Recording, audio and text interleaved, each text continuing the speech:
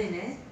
इसका नाम श्रवैया पनीकर रखा है और डिलीवरी महेश बेड़ेकर डॉक्टर ने किया है, जिसने बहुत अच्छी तरह किया है। मेरी पहली बेटी भी आठ साल हुई हो गई है, जो बेड़ेकर में ही हुई थी यहाँ पे। और यहाँ का सर्विस बहुत अच्छा है, सारे स्टाफ्स अच्छे हैं।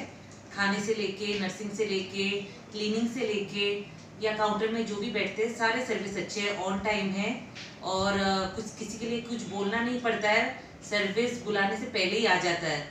तो बच्चे का डॉक्टर आनंद बेड़ेकर भी बहुत अच्छा है, उनके स्टाफ भी बहुत अच्छे हैं और कुछ किसी भी चीज़ का चिंता नहीं है सिक्योरिटी भी बहुत अच्छा है। रात को दरवाज़ा खुला रख के भी ऐसा करेंगे तो कुछ भी चिंता नहीं है। और उन लोग रात भर देखते रहते हैं, बच्चा को कुछ प्रॉब्लम है, माँ को कुछ प्रॉब्लम है। साथ में किसी को रहने की ज़रूरत नहीं है, क्योंकि उन लोग इतना सर्विस देते हैं। अगर कोई जेंट्स रहेगा तो डिस्टर्ब नहीं करते हैं।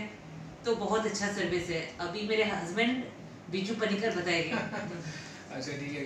अभी जब, मैं यूजुअली कोई हॉस्पिटल में रहता नहीं है, मेरे को नहीं अच्छा लगता हॉस्पिटल एनवायरनमेंट लेकिन इस खास कर इस हॉस्पिटल में मुझे हॉस्पिटल का एक भी स्मेल नहीं आया। जैसे कि दवा या कुछ होता है, कुछ स्मेल कुछ कहीं से भी नहीं आया। थोड़ा होमली नेचर है, घर का जैसा है, माहौल है, यहाँ पे स्टाफ बहुत कोऑपरेटिव है। जैसे कि वो स्टाफ की तरह बिहेव नहीं करते जैसे कि कोई फैमिली मेंबर आपकी, जैसे कोई दाई है, माई है, जैसे वो आके बात करेंगे, उस तरह आपसे आपके डील करते हैं। तो वो हॉस्पिटैलिटी बहुत अच्छा लगा मुझे स्पेशली खाना बहुत अच्छा लगा। मैंने एक बार भी खाना नहीं खाया, पर इनको खाना था तो मैंने इनको खाना दिया, लेकिन जो खाने का जो अरेंजमेंट था, बहुत बेहतरीन था। ठीक है, बाकी तो मुझे कुछ कहना नहीं कि ए वन सर्विस है यहाँ का। Thank you